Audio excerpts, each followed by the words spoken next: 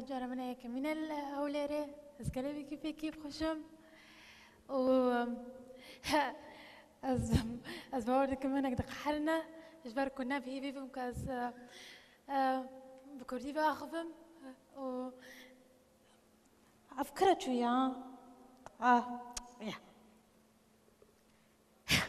Hello everybody.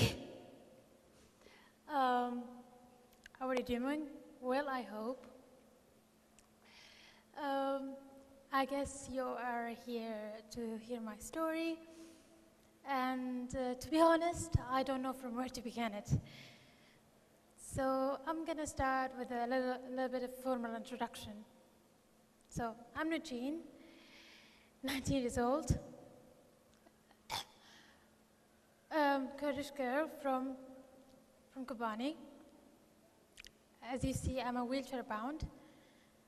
And so there are two things that set me apart and make me different from um everyone else.